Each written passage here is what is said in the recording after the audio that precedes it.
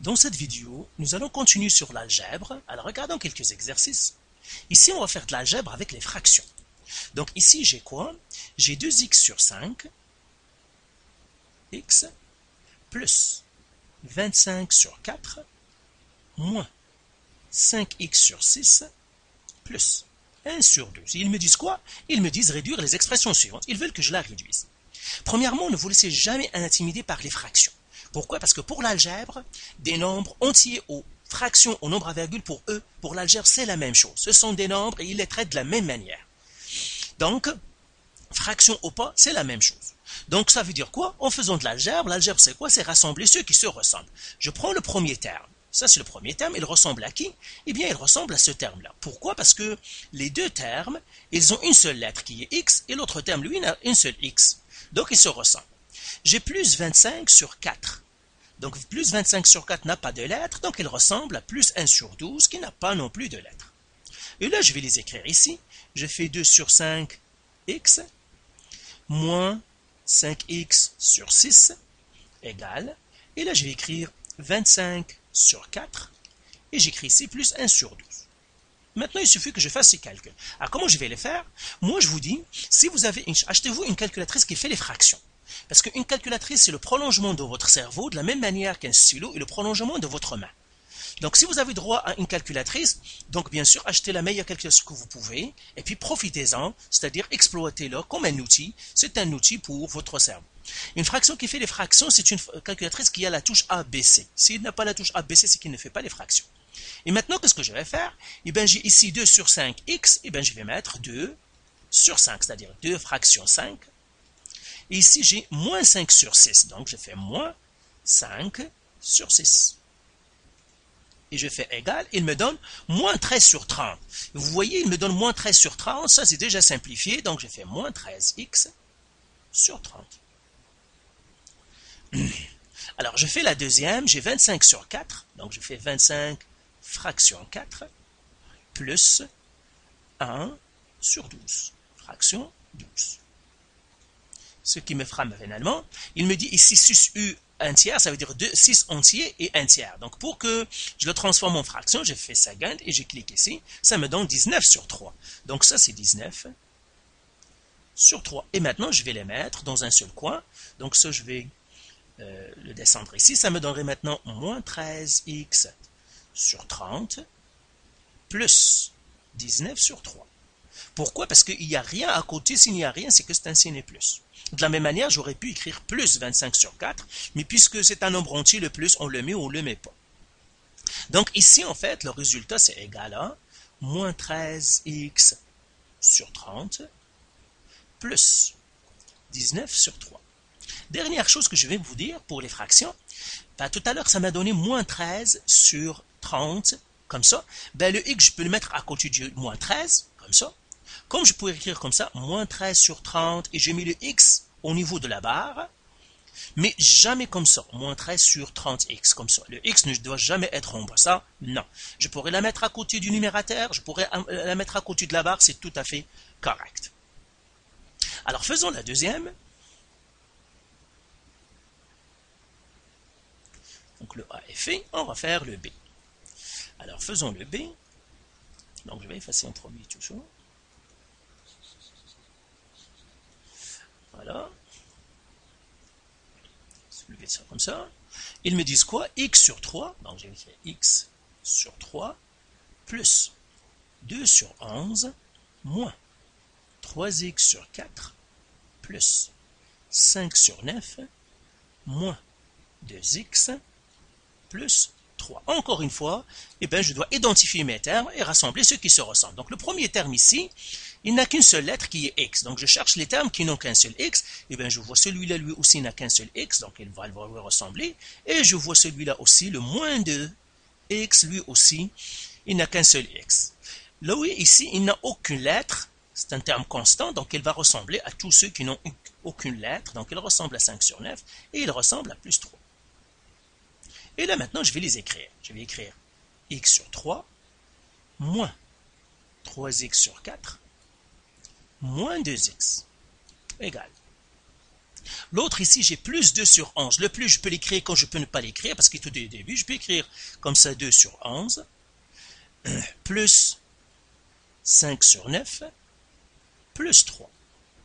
Alors, ce plus-là, comme je vous ai dit, puisque c'est un plus, je peux l'enlever, parce que s'il n'y a rien, c'est que c'est un plus implicitement. Et maintenant, je vais partir à ma calculatrice. Avant de partir à la calculatrice, ici, je vois que à côté du x, il n'y a aucun nombre. Donc, je vais mettre 1. Quand il n'y a aucun chiffre à côté, aucun nombre à côté du x, d'une lettre, je mets 1. Comme ça, je pourrais avoir mes coefficients. Et là, je prends la calculatrice. Donc là, je vais faire, maintenant, c'est 1 sur 3. Donc, je vais faire 1, fraction 3, moins 3 fractions 4, 3 fractions 4, moins 2. Je fais tout simplement 2 comme ça, parce que j'écris ça à ma calculatrice comme ils sont, seulement je ne mets pas les lettres. 1 tiers, moins 3 sur 4, moins 2. Et je fais égal. Alors il me dit c'est moins 2 entiers 5 douzièmes. Ben moi je vais lui dire non, non, donne le moi en fraction. Il me le donne en fraction. Ça me donne moins 29 sur 12. Alors encore une fois, je crée moins 29 sur 12. Et encore, j'ai dit, soit que je mets le x à côté du 29, soit que je mets par exemple moins 29 sur 12 et je mets le x comme ça. Les deux sont corrects. Donc, moi je vais le mettre à côté du, du, 29, du moins 29.